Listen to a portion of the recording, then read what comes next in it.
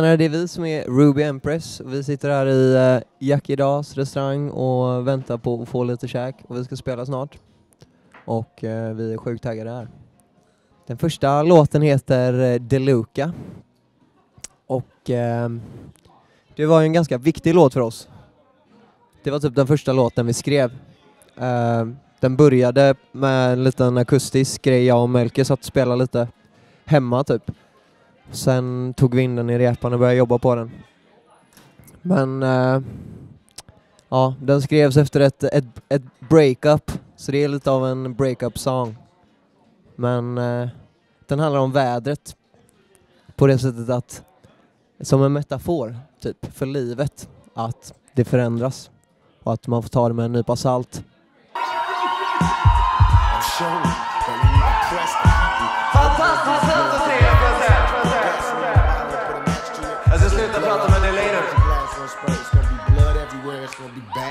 Scenes, innocent victims. We don't want that. We don't want Den här låten heter Deluca. We wise men coming through this. We like the seventh sign. We are. And it's just another love song. It's coming.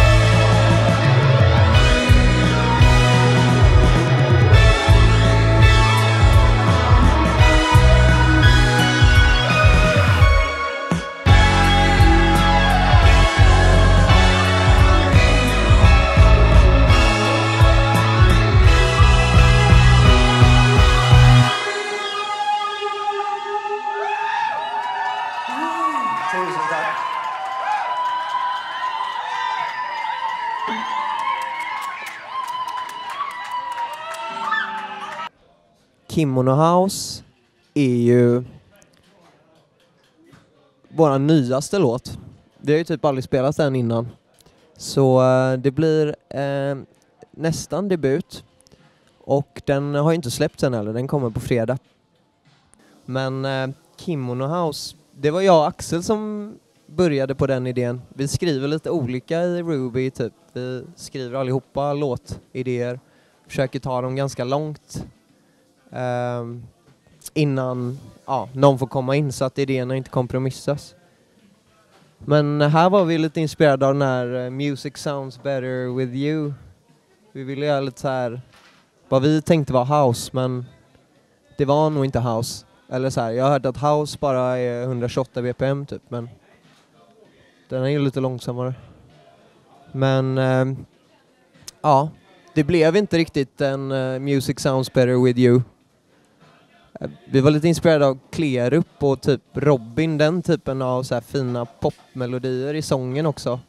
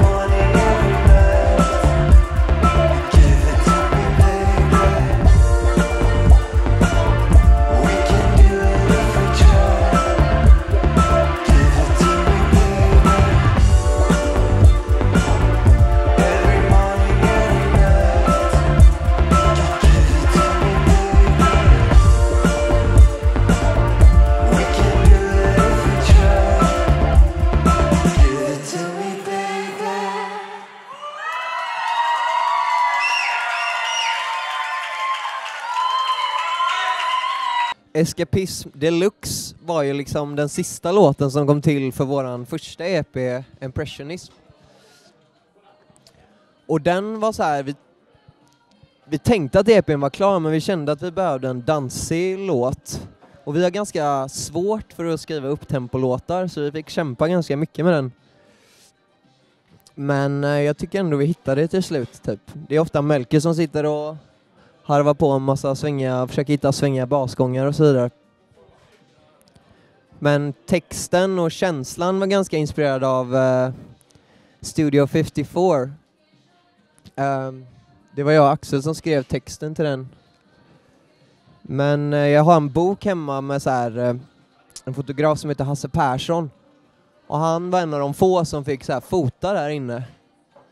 Och de bilderna är det är sån sjuk stämning i de bilderna. Uh, och det är mycket liksom den musiken som är inspirerad av, många av dem hängde där också så det är liksom bilder på Diana Ross och liksom Men det var en rolig anekdot där typ, för Andy Warhol hängde ju där mycket. Så hade han, han var väldigt svår att prata med obviously, så här basilskräck och hela den grejen. Men han hade gått fram till Andy Warhol på något så här Absolut-event, för Andy Warhol promotade Absolut eller någonting. Bara för att, så frågade han så här vad, du, vad har du för relation till Absolut? Tycker du det är gott? Typ? Har du smakat på det? Och då sa han bara, nej, men jag använder det som eh, deodorant mellan benen. Men det var helt sjukt tycker jag. Let's people, last song for the evening. Danetta Escapistas Deluxe.